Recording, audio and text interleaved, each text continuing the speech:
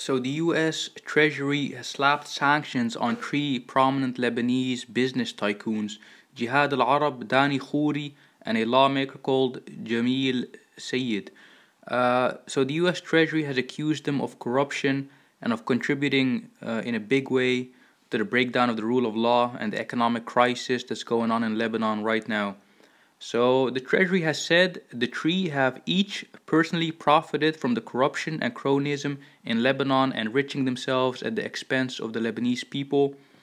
The statement continues while the Lebanese people face daily struggles to access uh, basic public goods, including medicine, electricity, and food, during a historic and devastating economic crisis, members of the Lebanese political class and their cronies operate with, with impunity to enrich themselves and hide their wealth.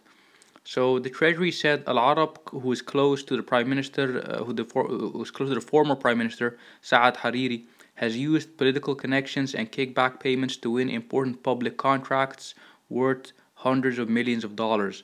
It said he overbilled the government in contracts, and despite winning a deal to address Beirut's 2016 garbage crisis, if you remember back in 2016, uh, there was trash all over the city of Beirut there was no garbage collection.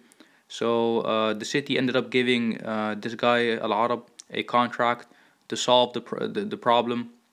He got hundreds of millions for that deal, and the problem wasn't solved. So the Treasury, uh, it continues. The Treasury also said he won two government contracts worth 200 million after brokering a political deal in 2014 ahead of elections. Uh, so the second guy, Khouri, it said uses his, his ties to already sanctioned politi politician Jibril ba uh, Gibran Bassil to reap lucrative contracts while failing to meaningfully fulfill the terms of those contracts. So these guys are getting contracts to do things and they don't even do them and they get a lot of they get hundreds of millions which is, which is crazy.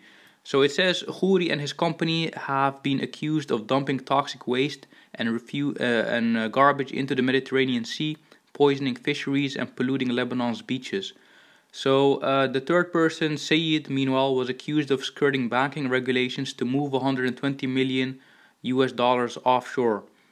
So he's getting money again from Lebanese government institutions and he's putting it into his bank in you know other countries. It says during the 2019 protests when demonstrators protested outside his home, outside Sayed's home, uh, he called on uh, his security and police to shoot and kill protesters. So the statement continues the United States is levying sanctions on these three individuals in solidarity with the Lebanese people who have long demanded accountability, transparency, and an end to endemic corruption. And this is according to Secretary of State Antony Blinken. So, guys, it's crazy. The economic crisis in Lebanon is getting worse and worse. Uh, there's no fuel. Prices of basic goods are going up. So, it's become really unbearable for people to live in Lebanon.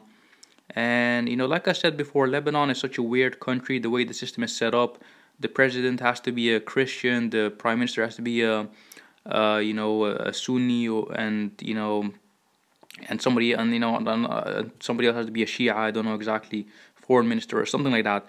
So it's it's a really messed up system. It's not based on who's good for the job, who's the best person for the job. So guys, like and subscribe. Thank you very much.